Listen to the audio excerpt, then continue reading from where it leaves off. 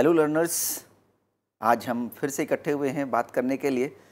शिक्षा में एक्सेस और रिटेंशन की जो भूमिका है, उसके बारे में आप परिचित होंगे, थोड़ा बहुत जानते होंगे। ये बहुत ही महत्वपूर्ण मुद्दा है, पहुँच और प्रतिधारण।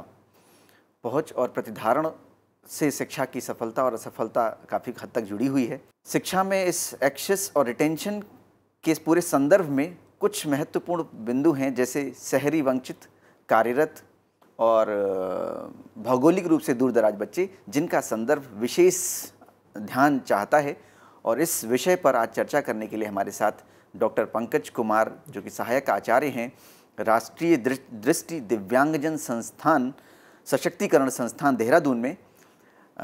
तो वो इस विषय पर चर्चा करेंगे। इस चर्चा शुरू करने के लिए डॉक्टर साहब का स्वागत है। आ, मैं आपसे ये डॉक्टर साहब पूछना चाहता हूँ ये वंचित बच्चे जिनको हम कह रहे हैं ये कौन हैं? और इनके लिए हम शिक्षा में क्या व्यवस्था करना चाहते हैं? जी सर आ, आपने चर्चा में खुद ही बता दिया कि आ, जो एक्सेस और रिटेंशन को एक महत्वपूर्ण बताया आपने और वही एक जो एक्सेस और रिटेंशन से दूर हो गए तो उनको हम डिप, एक डिप्राइव के रूप में देख रहे हैं।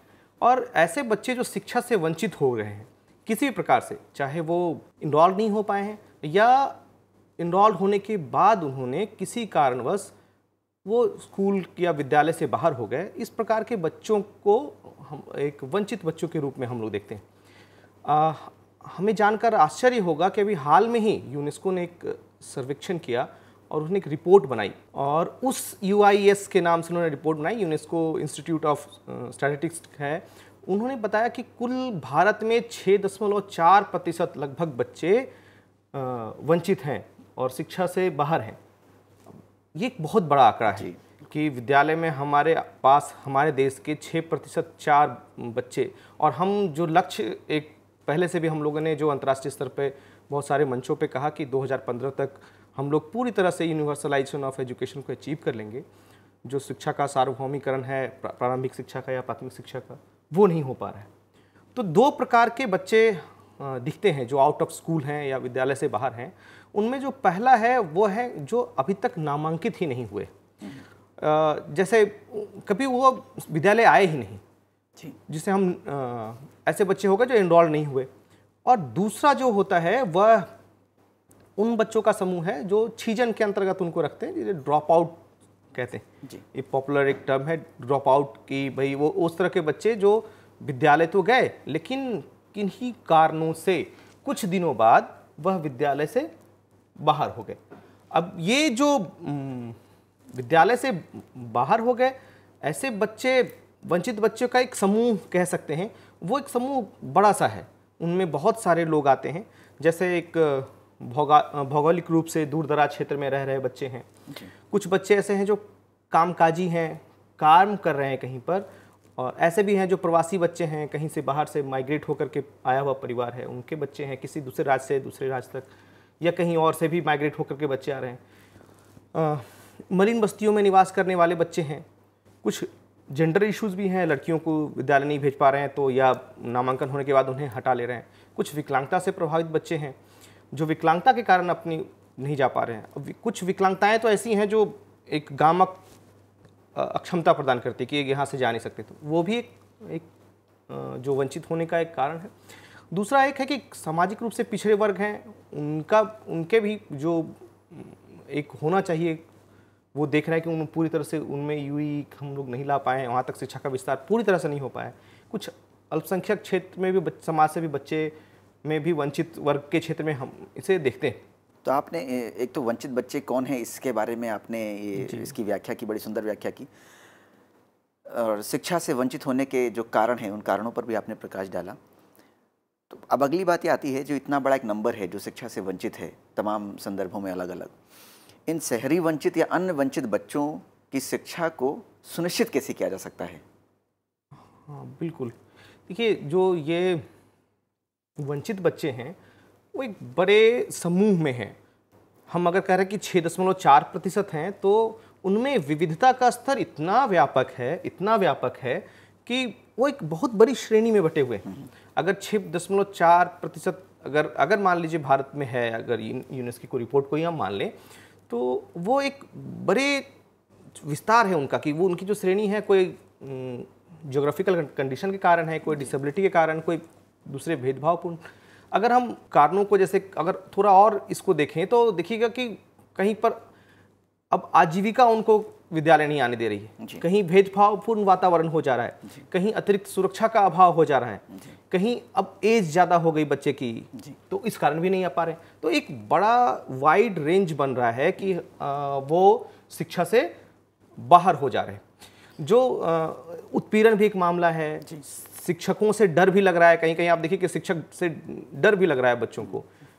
कहीं कहीं सीखने का दबाव बच्चों पर ज़्यादा है। कहीं लग रहा है कि नहीं विद्यालय में अनुशासनहीनता है इसलिए माता पिता नहीं भेज रहे हैं। और वो जेंडर वाला इशू तो एक कॉमन सी बात है कि जो जी, हम लोग उस तरफ़ का नहीं पहुँच पाए। तो इन सारे संदर्भों में इन सारे कारणों के के प्रकाश में के संदर्भ में आप शिक्षा को सुनिश्चित करने के लिए क्या जी जी। सुझाव देखते हैं? बिल्कुल बिल्कुल। कि ये जो जितने हम देखते हैं कि ये शिक्षा में जो वंचित वर्ग हैं और विशेषकर जो हम लोग आपने ही कहा कि चर्चा में हम लोग उनको रखा है शहरी वंचित जो हैं बच्चे। जी, जी। तो अगर उनको देखें तो हम उनको उनके लिए हम चार व्यापक फोकस क्षेत्र तैयार कर सकते हैं। जी। जो आ, उनके जो चार क्षेत्र होंगे उन क्षेत्र को हम ऐसे कर सक, सोच सकते हैं कि जो भाई पूर्णकालिक उनके एजेंडे को डालें तो हम एक कोई ऐसा कर सकते हैं कि हम उनको पूरी तरह से एक विद्यालय की स्थापना कर दें। पूर्णकालिक सामुदायिक सामुदायिक विद्यालय में हम उनको प्लेस कर दें। जी। दूसरा एक हो सकता है कि हम उनके लिए एक ब्रिज प्रोग्राम बना करके तब उनको हम मेन स्ट्रीम स्कूल में डालें। क्योंकि सबकी आवश्यकता बिल्कुल भी इनको मैंने कहा कि वो जो जो उन एक क्षेत्र है उनकी आवश्यकताएँ हैं वो बहुत व्यापक है। तो दो बातें होंगी कि एक हम उनको सीधा समुदाय के किसी जो स्कूल है उसमें कर सकते हैं। दूसरा हम ब्रिज कोर्स के थ्रू कर सकते हैं। हम्म। तीसरा कि हम अलग अलग विशेष समूह के लिए अलग स्ट्रेटजी के साथ हम कर सकते हैं। और चौथा कि हम कुछ एक इनोवेटिव प्रोग्राम भी सोच सकते हैं कि भाई कोई इनोवेटिव प्रोग्राम हो जो। उनके लिए हो। जैसे इनोवेटिव कहने का मतलब हो गया कि हम कोई पेडागोजिकल एस्पेक्ट से इसको देखें या करिकुलम के एस्पेक्ट से देखें कि क्या उनमें हम बदलाव लाएँ। जो इनके आवश्यकताओं की पूर्ति कर रहा होता एक अगर देखें तो सर्व शिक्षा अभियान में हाँ मैं यही हाँ, पूछना चाह रहा था कि आपका आपने कारणों पर चर्चा कर ली इनके सुनिश्चित किए जाने के कुछ जी, जी, जी. जो संदर्भ हो सकते हैं उसकी चर्चा हो गई सर्व शिक्षा अभियान में जो है जो हमारा सर्व शिक्षा अभियान है उसमें इसके लिए क्या प्रयास किए जा रहे हैं ताकि जो वंचित वर्ग है एक बड़ा वर्ग है और तमाम कारणों का जो आपने उल्लेख किया उनको सर्व शिक्षा अभियान में कुछ प्रोविज़न ऐसा है जिसमें हम उसको कोपअप कर सकते हैं? बिल्कुल बिल्कुल। देखिए सर्व शिक्षा अभियान में जब हम देखें तो दो तरह के बहुत ही बड़े स्तर के इंटरवेंशन आपको दिखेंगे। एक पहला है कि शिक्षा guarantee school education guarantee school की बात करते हैं। और दूसरा एक है वो वैकल्पिक और नवाचारी शिक्षा की बात करता है। Alternate alternate and innovative education की बात करते हैं। तो जो ये दो अलग अलग एक स्ट्रेटजिकल डिजाइंड एक इंटरवेंशन है। जी। जो इस तरह के डिप्राइड बच्चे हैं उनके लिए हम एक कारगर रूप में वो अपनाए जा रहे हैं। जी। अब इन दोनों को अलग से आ, समझने की बात है कि एजुकेशन गारंटी स्कूल क्या है? तो अगर एजुकेशन गारंटी स्कूल का मतलब ये है कि हम राइट टू एजुकेशन के तहत भी और ऐसे हम हर बच्चे को शिक्षा का अधिकार भी है। तो इसके तहत अब ये है कि एक किलोमीटर के दायरे में विद्यालय जहाँ पर भी नहीं है और पंद्रह वंचित बच्चे भी हैं तो वहाँ पर एजुकेशन गारंटी स्कूल खोले जाएँगे। जी। ऐसे विद्यालय की स्थापना की बात की जाती ये जो पंद्रह बच्चे की सीमा है ये पहाड़ी क्षेत्रों के लिए दस कर दी गई क्योंकि यूजुअली अच्छा। जो पहाड़ के क्षेत्रों में जो जोग्राफिकली जो रिमोट एरियाज़ हैं उन एरिया में अगर आप देखें उन क्षेत्रों में तो पॉपुलेशन काफ़ी स्कैटर्ड होता है। एक जगह से दूसरे जगह जाना भी है। इसलिए इस नियम में यहाँ पर नम्यता दिखाई गई है कि जो पंद्रह विद्यालयों की सीमा रखी गई है उस पंद्रह विद्यालयों की सीमा को यहाँ पर पर्वतीय क्षेत्र के लिए सिर्फ़ दस बच्चे का ही रखा गया है। और जो दूसरा है वो है जो अल्टरनेट एंड इनोवेटिव एजुकेशन की बात कर रहे थे तो अल्टरनेट एंड इनोवेटिव एजुकेशन की जो प्राथमिकता है कि वो मुख्य धारा से बाहर निकले बच्चों को का शैक्षिक हस्तक्षेप करता है। जी। वो अल्टरनेट साधनों की बात करता है जो हम एक जो स्कूल में मुख्यधारा में कैसे इनको जोड़ा जाए तो ऐसा नहीं कि उनके लिए स्कूल की बात की जाए। जी।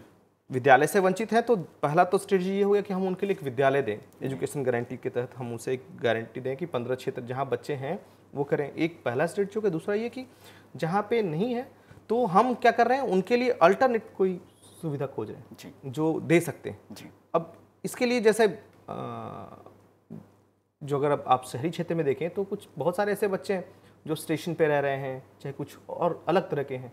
दिन में कहीं बच्चे कहीं कुछ काम कर रहे हैं आप आप बुलाने से भी वो बच्चे नहीं आ सकते हैं विद्यालय में तो उनके लिए शाम में किया जा सकता है। हाँ नहीं तो इसमें एक बात ये निकलती है जैसे ये तो हमें पता है कि जो बाल श्रम है बाल श्रम तो प्रतिबंधित है बाल श्रम अलाउड नहीं है।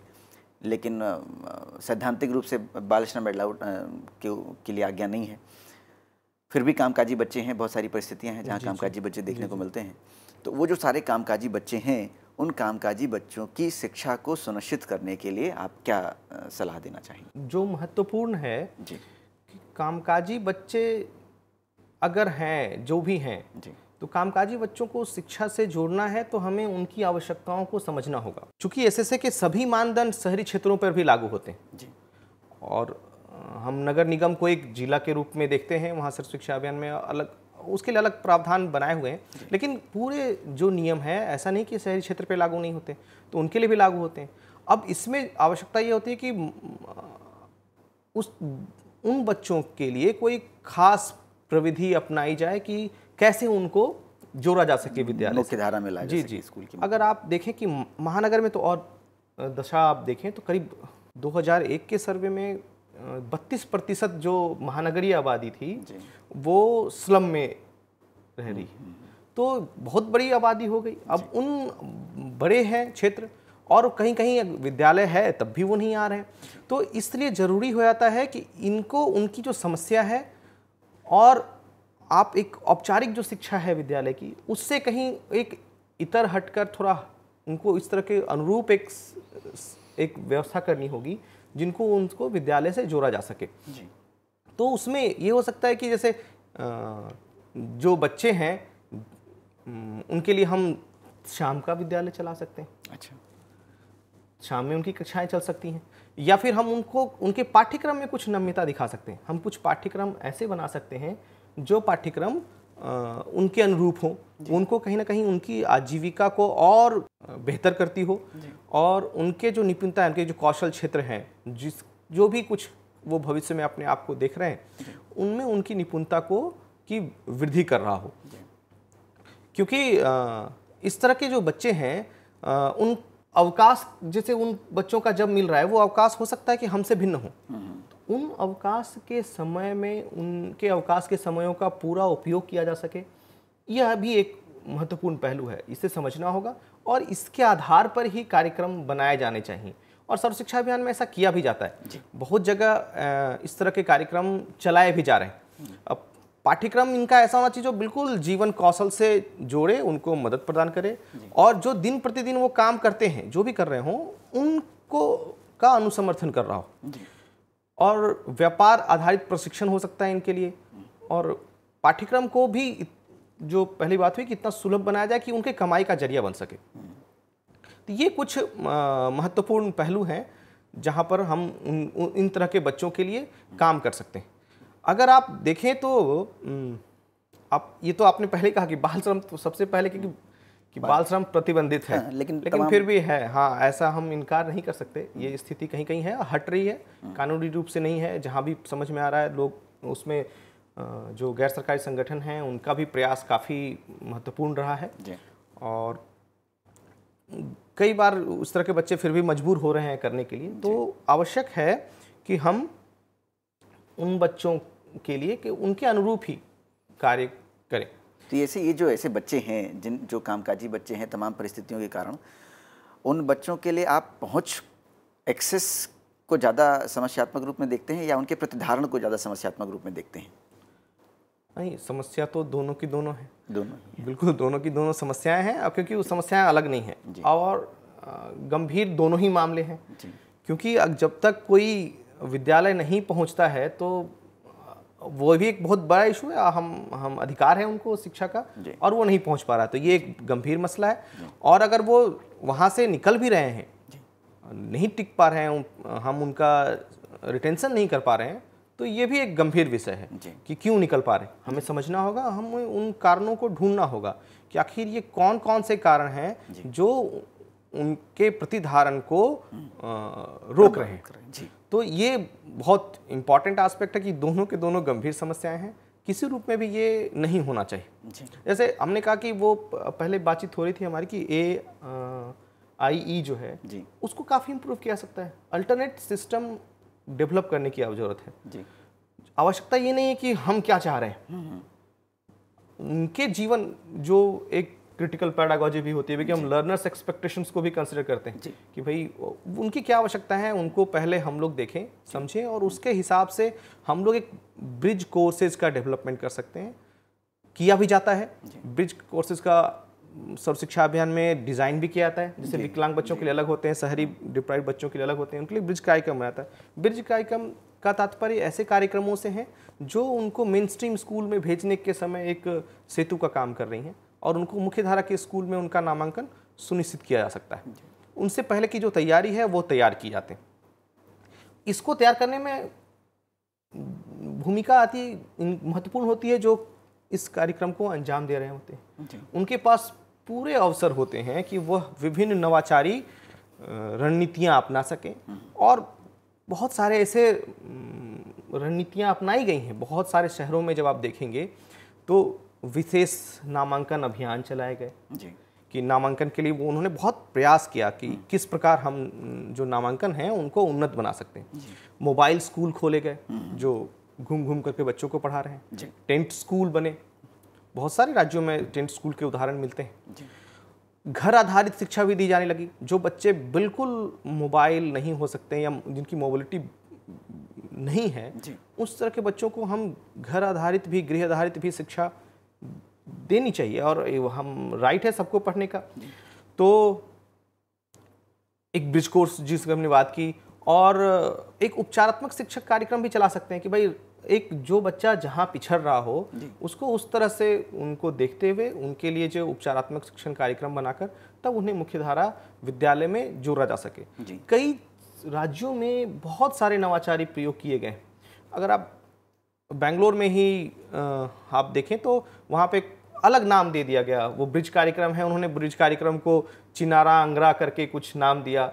एक जो दूसरा उन्होंने जो शाम में या जो स्टेशन या घर बच्चों में रेलवे स्टेशन पे रह रहे हैं उस तरह के बच्चों के लिए उन्होंने एक अलग से कार्यक्रम का नाम दिया सर्व शिक्षा अभियान में जिसका नाम था संध्या कलिका केंद्र। हाँ। है ना? जो शाम में बच्चों के लिए खोले जा रहे हैं। बहुत जगह इस तरह के आप विद्यालय अपने आसपास देख सकते हैं। जी। इस तरह के स्लम के बच्चों को कलेक्ट करके इस इन तरह की चीज़ों में यह एक सामाजिक पक्ष है तो समाज के हर अंग की भूमिका स्वतः उभर कर आती है कि इस तरह के चीज़ों में नवाचार को प्रयोग करें। और ऐसे नवाचार ना हो जो किसी प्रकार से किसी नियम या कानून या इसकी अवहेलना करता हो। तो इस तरह का प्रयोग किया जा सकता है। तो बहुत सारे ऐसे उपाय अ, आप देखने को जी हाँ सर्व शिक्षा अभियान में भी बहुत सारे राज्यों ने अनूठे कार्यक्रम को दिया है। जी। इन कार्यक्रमों की प्रभावशीलता अगर स्थापित करनी है जी। तो प्रभावशीलता स्थापित करने के लिए एक महत्वपूर्ण भाग हो जाता है जो आप ये इन जो कार्यक्रमों को किया जा रहा है या दर्शाया जा रहा है तो इनमें जो जो शैक्षिक संस्थाएँ हैं वह कितना कारगर भूमिका अपना रही जैसे हम लोगों ने बात की कि ब्रिज कोर्स हो या जो एआई की बात कही गई। जी। तो ये जो ये जो प्रोग्राम्स हैं इनको जब तक एक व्यापक क्षेत्र में व्यापक लोगों के साथ शैक्षिक स्तर पर विमर्श के बाद नहीं लागू किया जाए तो उसमें कुछ लूप होल्स हो सकते हैं। इसलिए इस तरह के कार्यक्रम जब हों तो इनके प्रभावी बनाने के लिए हो सकता है कि जो नज़दीकी की सीआरसी हैं जो संकुल संसाधन केंद्र होते हैं जो प्रखंड या खंड संसाधन केंद्र हैं या फिर जो डाइट हैं जो कंसर्न डायट है एससीआरटी हैं इन सब की भूमिका काफ़ी बढ़ जाती है कि वो इस चीज़ों को जो शैक्षिक कार्यक्रम तैयार हो रहे हैं क्योंकि हम बात कर रहे हैं पाठ्यक्रम में नम्यता की हम बात कर रहे हैं पेडागोजिकल कोई स्ट्रेटजी की तो उनकी भूमिका स्वतः उभर कर आती है कि किस प्रकार हम इन डिप्राइव्ड बच्चों के लिए कार्यक्रमों को डिज़ाइन करें किस प्रकार कौन सी स्ट्रेटजी को लागू करें ताकि उनका महत्तम जो जो रिटेंशन और एक्सेस को हम अचीव कर सकें प्राप्त कर सकें। जी।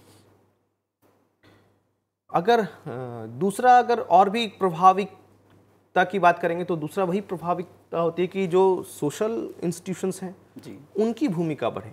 एक तो एकेडमिक पार्ट हो गया कि भाई जितने ऑर्गेनाइजेशंस हैं जो बी आर सी हैं सी आर सी हैं उनकी भूमिका बढ़े और दूसरा है कि ये जो हमारे जो वहाँ के लोकल हैं रिसोर्स सेंटर्स हैं जो और भी समाज के अंग हैं हाँ। वो अपनी भूमिका वहाँ सुनिश्चित करें कि किस प्रकार के हम लोग जल्द से जल्द और प्रभावित रूप में इस जो सोशली डिप्राइव्ड लोग हैं या अर्बन डिप्राइव्ड जो पर्सनस हैं हम्म। उनके रिटेंशन और एक्सेस को में जो क्षति या छीजन लग रहा है छीजन या नामांकन नहीं हो पा रहा है इसको पूरी तरह से समाप्त किया जा सके।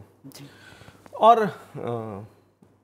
ये एक महत्वपूर्ण बिंदु है क्योंकि किसी भी प्रकार से एक भी वंचित रह गया तो फिर हम जो यूनिवर्सलाइजेशन की बात कर रहे हैं कर रहे हैं तो सार्वभौमिकरण हमारा सार्वभौमिकरण तब तक पूरा नहीं सकता जब तक सारे के सारे लोग गुणवत्तापूर्ण तरीके से बिल्कुल, सही मायने में समाहित ना हो जाए। बिल्कुल सम, एक मुख्य धारा से जुड़ना जाए। तो ये बहुत एक महत्वपूर्ण भाग है कि आ, कि ये जाए और ये प्रावधान भी है हम प्रावधान होना और उन्हें लागू करना और एक लागू क्या करना? उसको एक एक अंग बना देना समाज का अंग बनाने में। महत्वपूर्ण भूमिका होती है। कि बहुत सारे प्रावधान हैं। जैसे हम लोगों ने जो ई e की बात की ई e में हर एक किलोमीटर के दायरे में एक एजुकेशन गारंटी की बात कर रही हैं। और अगर पंद्रह बच्चे डिप्राइव्ड हैं तो आप छः से चौदह साल के अगर आयु वर्ग में डिप्राइव बच्चे हैं तो आप उनके लिए विद्यालय खोलने का प्रावधान है। उसको आराम से खोला जा सकता है। अब जो सोशल इंस्टीट्यूशन है उनकी भूमिका बढ़ती है इसमें।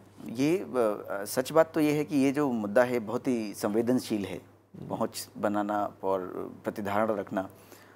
और जो जो आज जो आपने संदर्भ लिया विशेष करके शहरी वंचित कार्यरत और भौगोलिक रूप से दूर दराज बच्चे इनके लिए आ, हमको विशेष ध्यान देना होगा विशेष प्रयास करने होंगे। तो इन प्रयासों के लिए सर्व शिक्षा अभियान की जो भूमिका है उस पूरी भूमिका का मूल्यांकन आप कैसे करेंगे? भूमिका का मूल्यांकन जो है वो भूमिका सर्व शिक्षा अभियान की ओबियस से तो समझ रहे हैं कि है। बहुत ही महत्वपूर्ण है जी हाँ। अब भूमिका का मूल्यांकन नहीं तो मेरा बड़ा क्वालिटेटिव हाँ, हाँ, हाँ, मेरा प्रश्न शायद ये ऐसा होना चाहिए था कि ये जो जो वंचित ग्रुप है और ये हमारा जो अभियान है ये अभियान क्या इस वंचित ग्रुप की जो ज़रूरतें हैं और जो उनके संदर्भ हैं उनको देख पा रहा है उनको एड्रेस कर पा रहा है?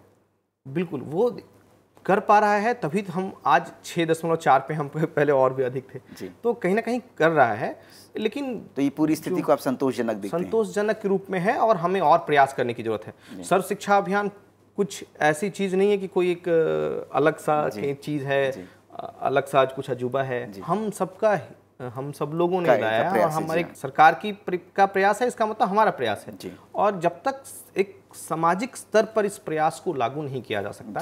तब तक आप वंचित बच्चों को की सुनिश्चित नहीं कर सकते क्योंकि वंचित बनाया हमने है उसे। जब अगर हम वंचित के कारणों को देखें तो वंचित के कारण क्या आते हैं? जी बिल्कुल। जो शिक्षक संबंधी आते हैं या विद्यालय में संतोषप्रद सुविधाएँ नहीं हो रही हैं पारिवारिक और सामाजिक संदर्भ होंगे। संदर्भ होंगे। हम्म। ये सब चीज़ों को एक बड़ा एक है। और ज़रूरी है जैसे आप डिसेबिलिटी को लें। जी। तो डिसेबिलिटी को की गंभीरता जो हो जाती है चाहे अर्बन अगर कोई डिसेबल्ड बच्चा है अर्बन हम्म।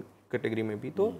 आप उसकी गंभीरता समाज सुनिश्चित करता है। जी। सुनिश्चित मतलब अगर अगर समाज एक कंडक्टिव हो और वहाँ पे वो आराम से कार्य कर सकता है तो वो अपने आप को गंभीर नहीं मानेगा। हम्म। और उसकी जो गंभीरता का स्तर होगा वो कम होगा। इसी प्रकार जो सामाजिक रूप से जो स्टेशन पे रह रहे हैं चाहे कोई और बच्चे हैं हम जब तक उन बच बच्चों को बच्चों के रूप में विद्यालय में नहीं स्वीकार करें। तो यानी एटीट्यूड एक महत्वपूर्ण अंग होता है किसी भी रिटेंशन और इसको मेंटेन करने के लिए। हाँ बाकी जो सैद्धांतिक बहुत सारे पक्ष है कि हम ऐसा चला सकते हैं वैसा कार्यक्रम चला सकते हैं। लेकिन उन कार्यक्रमों को मूल रूप से लागू करने के लिए शिक्षक वर्ग की बहुत बड़ी भूमिका है कि आखिर पूरी तरह से जो इन सब कार्यों का क्रियान्वयन एक शिक्षक हाँ, के द्वारा ही किया तो शिक्षक की भूमिका जो है इसमें काफ़ी व्यापक हो जाती है और वो काफ़ी बढ़ जाती है। जी। नहीं यहाँ पर जहाँ तक संस्थान की बात है जी जी। संस्थान के पार्ट पर तो शिक्षक की भूमिका समझ में आती है लेकिन जो पारिवारिक और सामाजिक जो लिमिटेशन है सीमाएँ हैं उनमें भी सर्व शिक्षा अभियान का कुछ की कुछ भूमिका है? बिल्कुल सर्व शिक्षा अभियान की भूमिकाएँ तो हैं ही। बहुत सारे कैंपेन अवेयरनेस कैंप वगैरह चलाई जा रही हैं। क्योंकि एक अवेयरनेस भी बहुत महत्वपूर्ण अंग होता है इन तरह के बच्चों को जोड़ना। जहाँ तक मुझे मेरी राय लग, है ये कि लगता है कि शिक्षा का जो अधिकार अधिनियम है, उसकी समझ व्यक्ति या समाज में परस्पर रूप से नहीं है। अगर समाज ये, अभी तक ये समझ में नहीं लोगों को आया कि ये अधिकार है, कि उनके पास ये अधिकार है कि हाँ वो एक जाएँ। विकलांग बच्चों को एक अलग से फिर अधिकार मिला। उन्हें वो पता नहीं कि हाँ हमें एक अलग से अधिकार है। हाँ लेकिन ये इस जब तक हम उसे व्यापक तौर पर प्रसार नहीं कराएँ उस जिम्मेदारियों का एहसास ना कराएँ जी। तब तक ये प्रभावशाली रूप से कारगर नहीं साबित हो सकते। तो इसमें शिक्षक के अलावा फिर जो और जिनके ऊपर दायित्व आता है वो दायित्व तो किसके किसके ऊपर आता है? देखिए यू एक पूरी तरह से एक अगर एक एक समेकित एक इकाई है। हाँ, इकाई है और बहुत सभी लोगों को उसमें जुड़ना है। हम्म। आप यूनिवर्सलाइजेशन की बात कर रहे हैं सार्वभौमिक की बात कर रहे हैं तो कोई नहीं छूटता है। अगर हम कहें कि किसी की भूमि किसकी भूमिका है तो हर एक व्यक्ति की भूमिका है। बिल्कुल। अगर शहरी क्षेत्र में बच्चे नहीं स्कूल विद्यालय जा पा रहे हैं या विद्यालय से दूर है विद्यालय तक उनकी पहुँच नहीं है शिक्षा तक पहुँच नहीं है हम्म। तो हम सभी जिम्मेदार जी। हर व्यक्ति जिम्मेदार है। क्योंकि जब तक सभी लोगों की भूमिका नहीं तय होगी हम्म। तब तक हम इसको बहुत अच्छी तरह से अचीव नहीं कर पाएँगे। क्योंकि जितना धीरे धीरे कम होते जाता है हम्म। उनको अचीव करने का और कॉम्प्लेक्स बढ़ता जाता है। क्योंकि अभी भी अब जब जैसे छः दशमलव चार प्रतिशत हैं जी। लेकिन वो उनमें बहुत ही बड़ा क्षेत्र है। तो जब इन व्यापकता को हम कम कर सकते हैं और बहुत आसानी से अचीव कर सकते हैं। केवल सबकी भागीदारी सुनिश्चित करने की आवश्यकता है। बहुत अच्छा डॉक्टर साहब। बहुत ही संवेदनशील मुद्दा था ये पहुँच और प्रतिधारण का। इस बहुत ही संवेदनशील मुद्दे को आपने बहुत ही आसान तरीके से समझाया। इसके लिए आपका आपका धन्यवाद। धन्यवाद।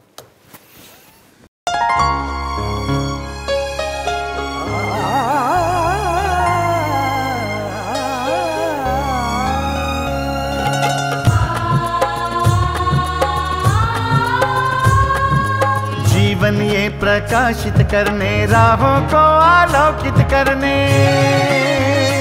हम अपना दीपक स्वयं बने, हम अपना रास्ता स्वयं चुने।